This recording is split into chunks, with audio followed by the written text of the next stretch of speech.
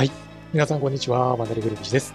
今回は、コンパチヒーローシリーズ、ダイヤセーバー、ヒーロー最大の作戦、こちらをプレイしていきたいと思います。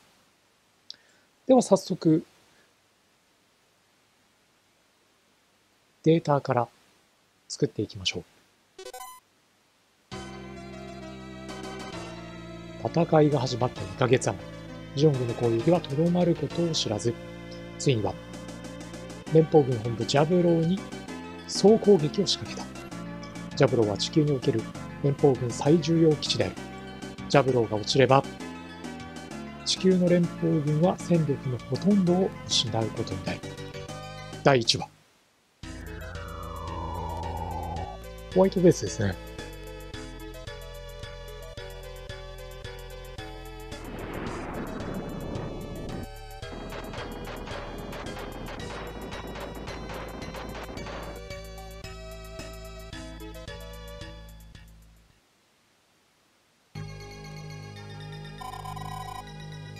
ンジンの調子がおかしいと、すぐに直してくれ。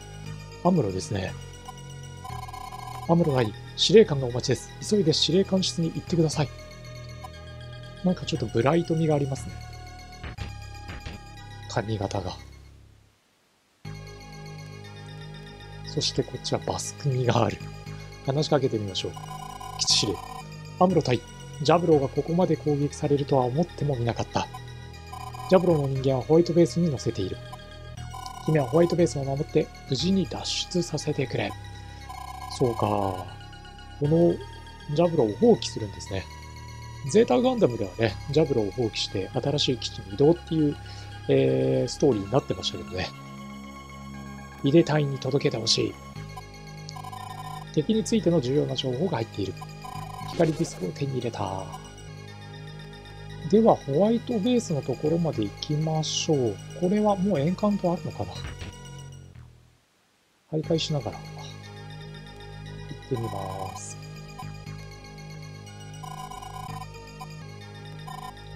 すぐに出るぞまだです。メンテナンスをしないと F91 は使えませんよ。これ F91 なんですね。戦闘中に奪わなくなっても知れませんからね。これなんかニューガンダムを受領した時のファンもちょっと雰囲気似てますね。コズム。ラルタイ、新型のガンダムです。アコース。新型のガンダムか。こいつを仕留めればエースパイロットになれるぜ。新型とて恐れることはない。モビルスーツの戦いはパイロットが決めるのだ。これグフに見えるけどな。グフと F91。いくらランバラルとはいえ、これではアムロの F91 の圧勝だろう。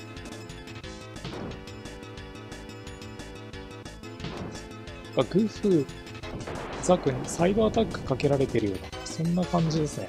いや、ただこれ、まずいな。退却、まあ、できないよな。どうなるんだろう。もう1しか残ってない。ぐわ、これやられるイベントだな、きっと。お、ウルトラマンだ。大丈夫か、アムロ君？お、これでウルトラマンとウルトラマンレオが出てきましたね。すげえ。これで、イベントが進む感じなんですね。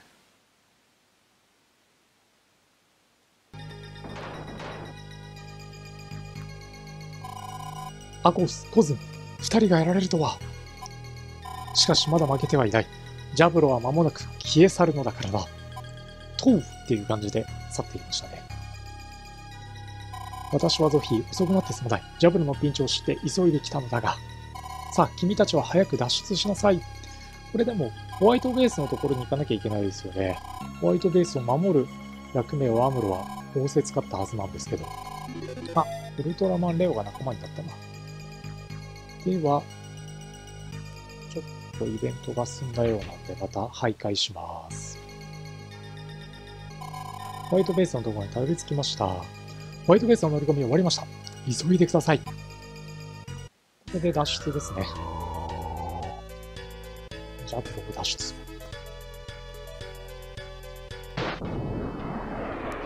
核が炸裂したのかな。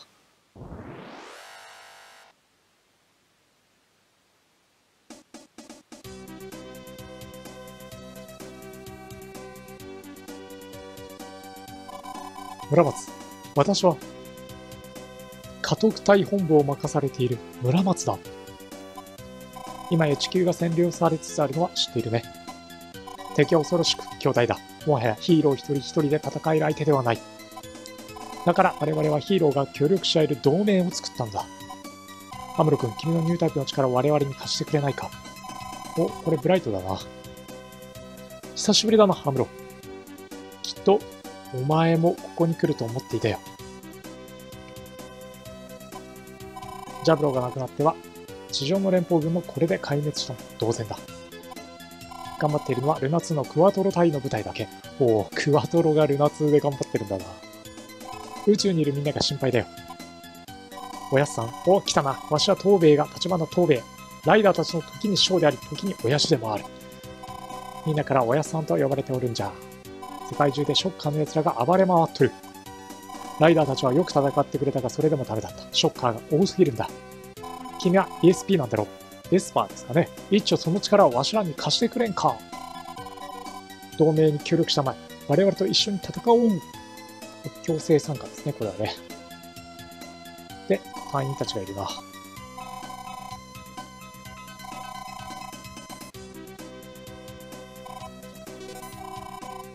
あ、光ディスクですね。ちょうど渡しちゃいましょう。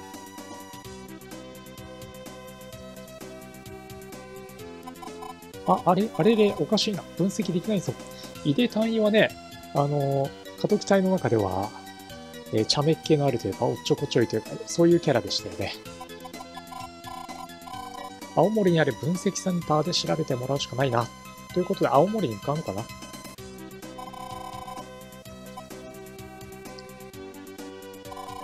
アストナージにはもうあったか。私と一緒に同盟に来たんだ。いいね。アストナージもいるんだ。アマゾンは広島にいる。広島、青森。この辺りがポイントになるのかな。じゃあちょっとアストナージがいるであろうデッキに向かいましょう。お、いるな。よアムロ、久しぶり。俺もブライダさんと一緒に同盟に来たんだ。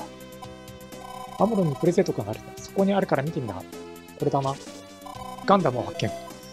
博物館にあった中古だけど、前よりマシだろう。そうか、F91 じゃないんだな。残念。普通のガンダムですね。では、ガンダムを受領したので、アムロはガンダムを使って、えー、この先プレイが済むのかなと思います。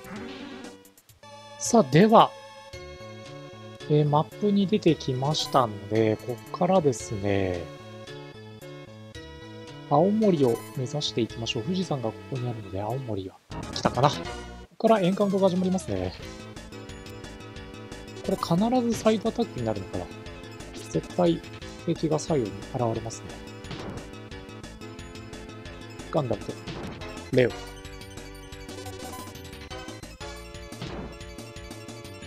結構攻撃力も強いな。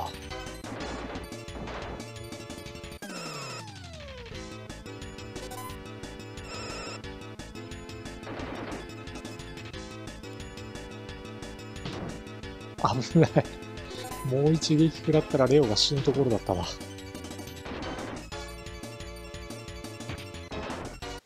あ、逃げに強いな。これは先が思いやられそうですね。今度はズゴックとザクが出てきたな。まあ、なかなか敵も強力なんで、要所要所で回復しながらじゃないと、今回もレオが早くも死にそうだからな。これは、あの、一回、どうだろう、戦いが終わるごとに、ヒットポイントは完全回復しますね。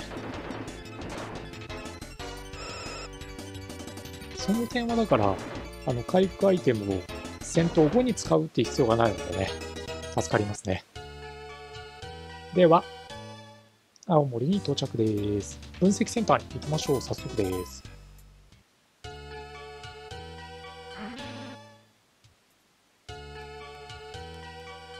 博士がいるな。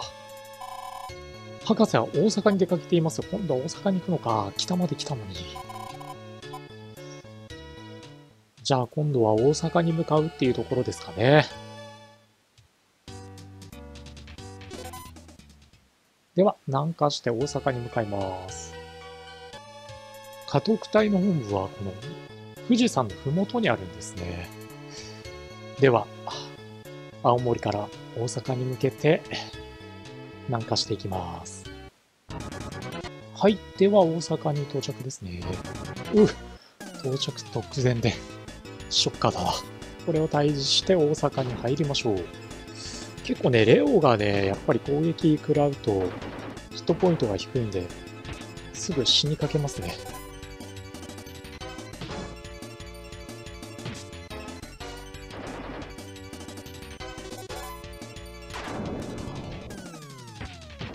ここはなんとか撃退。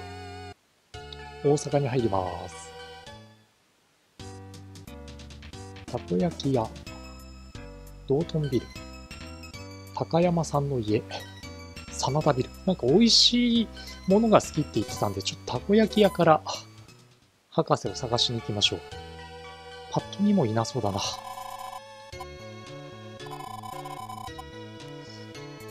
たこ焼きはね、あの、あ、いた二宮博士だ。大阪に限るたこ焼きは、ということですね。よく私を見つけたな。いかにも私は分析センターの二宮だ。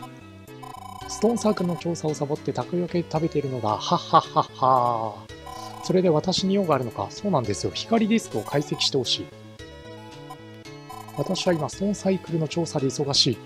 いや、今、地球のピンチなんだけどな。で、広島の岩本博士から広島のストーンサークルの調査報告をもらってきてくれということで、えー、じゃあ今度は広島に向かいましょうというところですが、えー、ちょっとね、初回で長くなりましたので、今回はここまでにさせていただいて、次回はですね、えー、広島に向かうところからスタートしていきたいと思います。